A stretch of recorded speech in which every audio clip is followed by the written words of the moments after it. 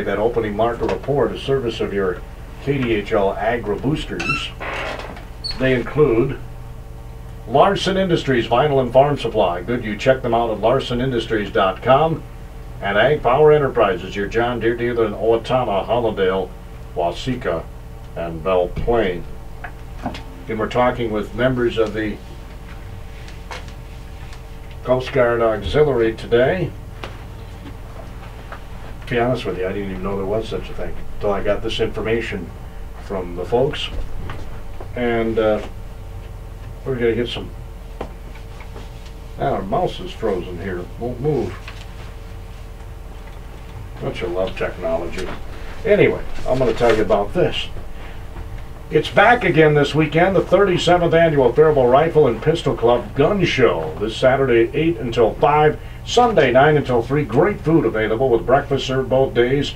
Admission still a bargain, just 5 bucks. Really? 5 bucks. Children 16 and under are free when accompanied by an adult. The 37th annual Gun Show at the Armed Forces Reserve Center. That's at 3000 West Airport Road here in Faribault. It's a brand new facility. It's great. And that's this weekend the 37th annual Faribault Rifle and Pistol Club Gun Show. And again, we've got the Frozen Mouse here in the studios. So I guess we won't be hearing that.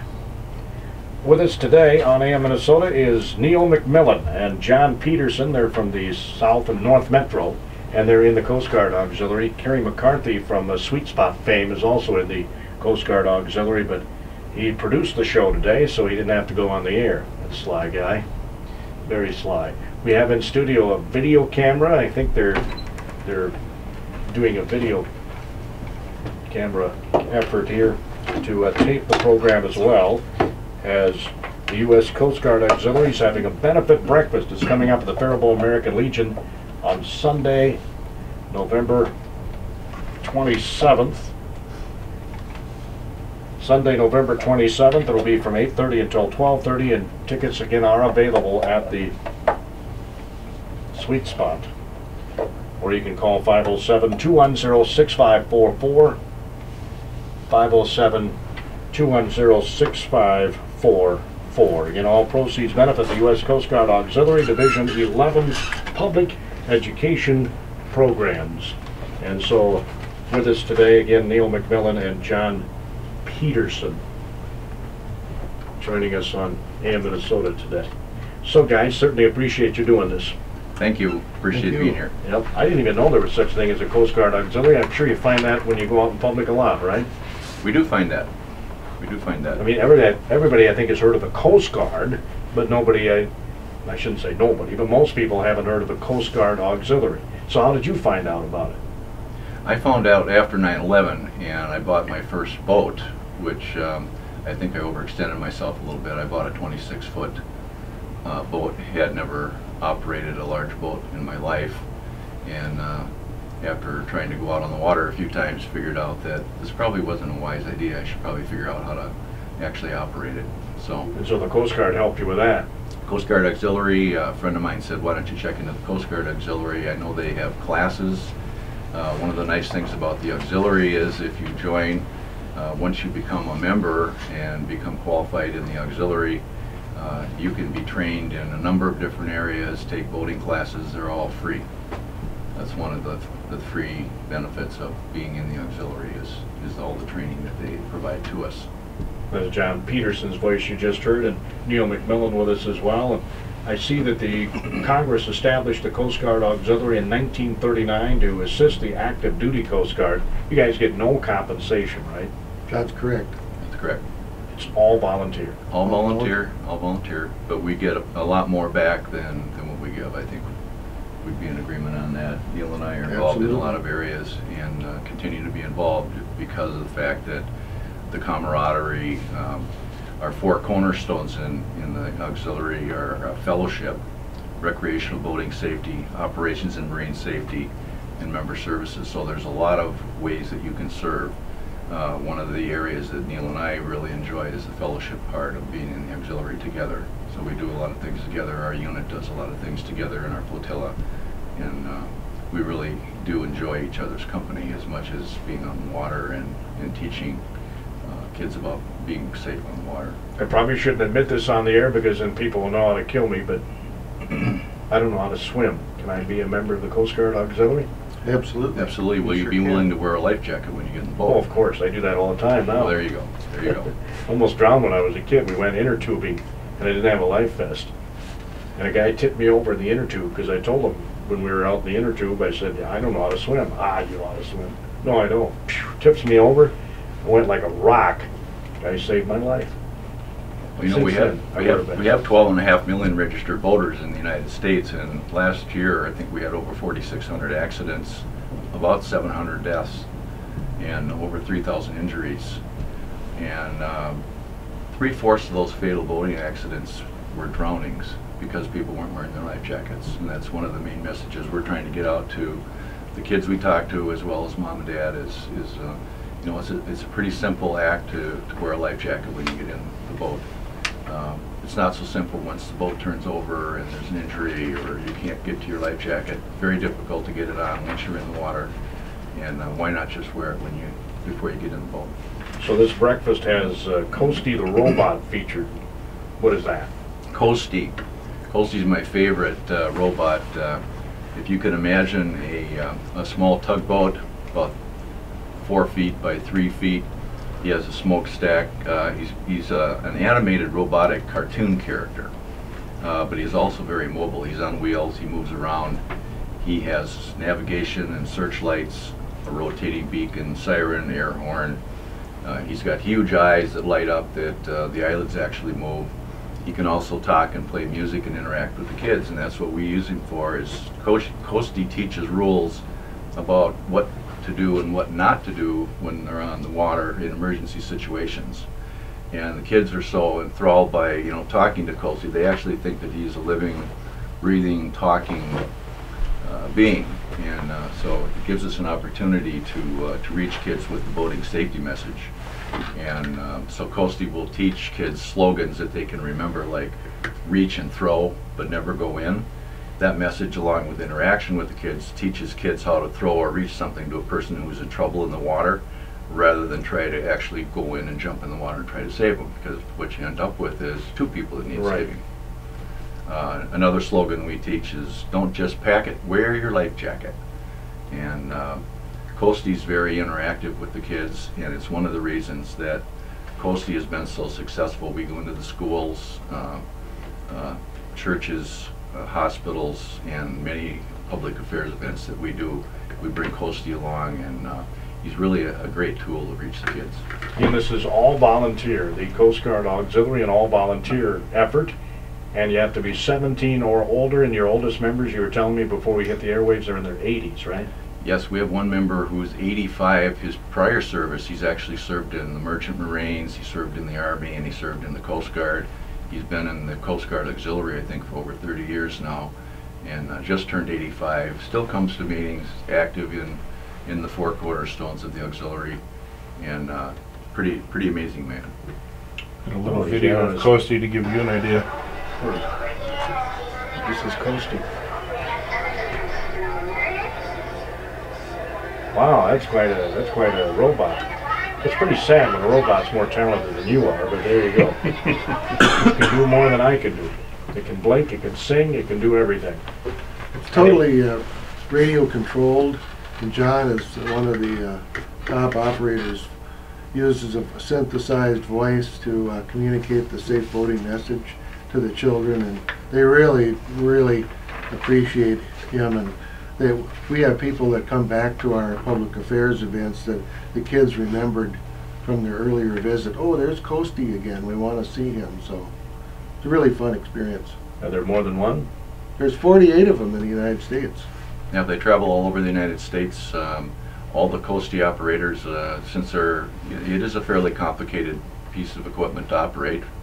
And uh, so we, we actually have a training program for our operators that they go through to, number one, learn how to interact with children, uh, how to, how to operate Coasty, do repairs, not repairs, but, you know, typical maintenance that we would have to do to keep them up and running.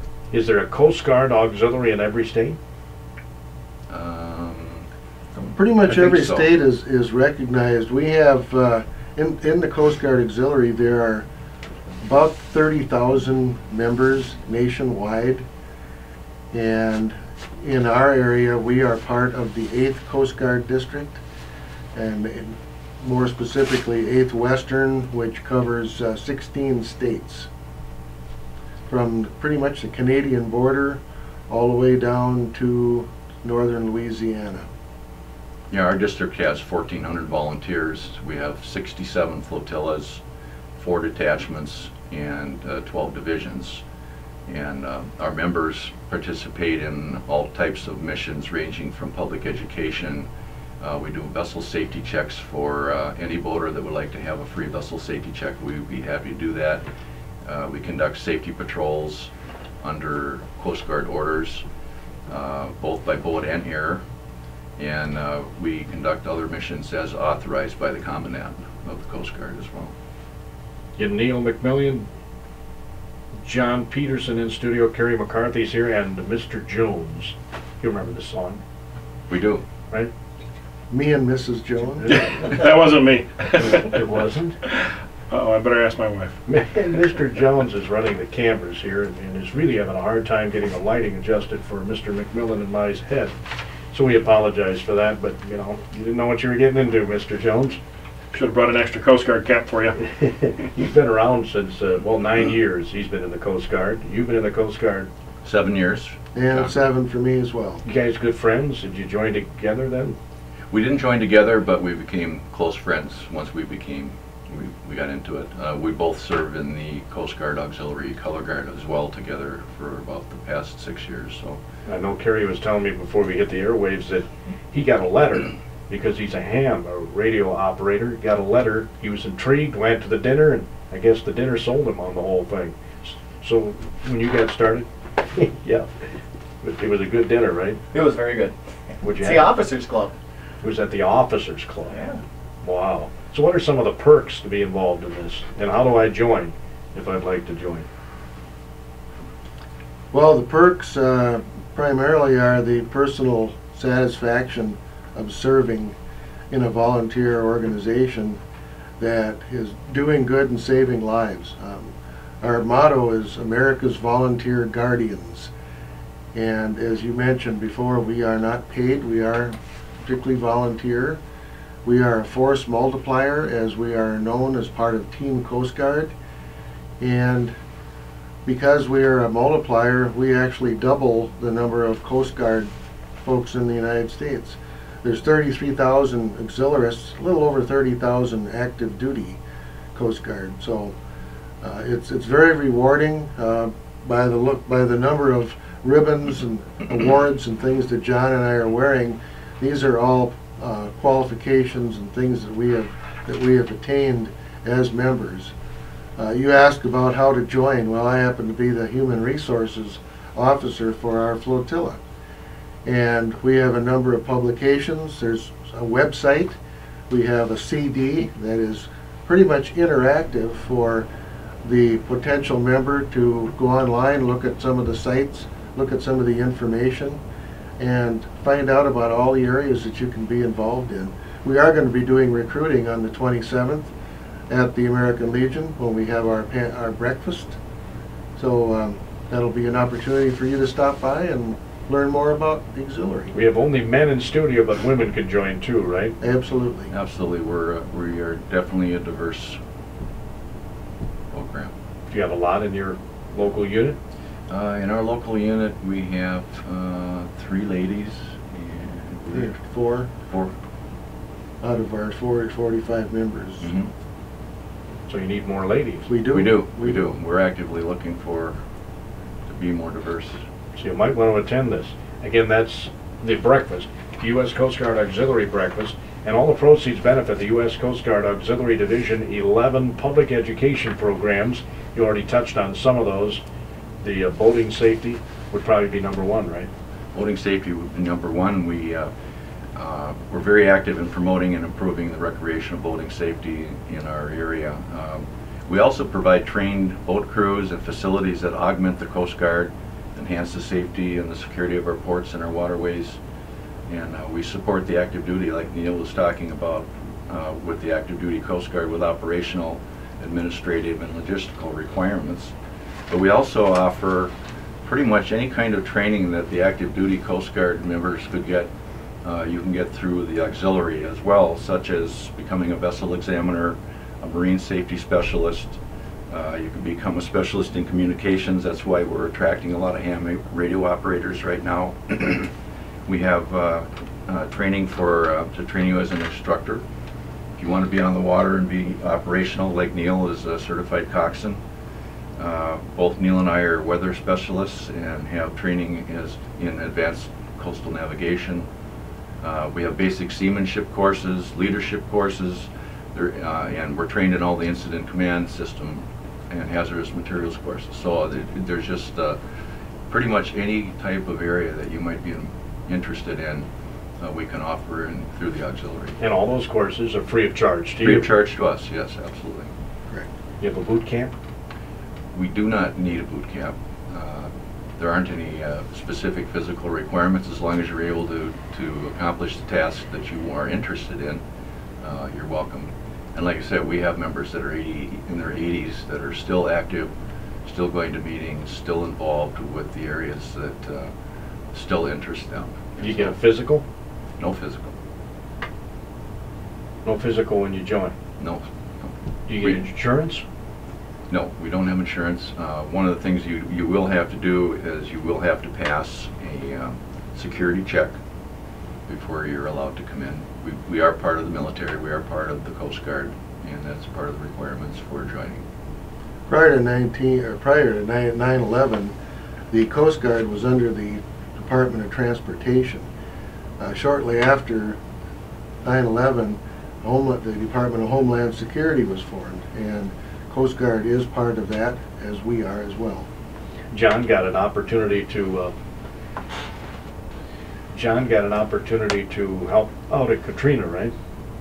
We, we have, we have uh, uh, provided logistical support, administrative support. Uh, That's one of the areas that we do so that the active duty can go out. Uh, Neil has been on the communications team that we've sent out to the Red River. We have not actively gone to Katrina, but we have sent people in our unit through uh, FEMA, have gone out to various disasters to, to assist with the Katrina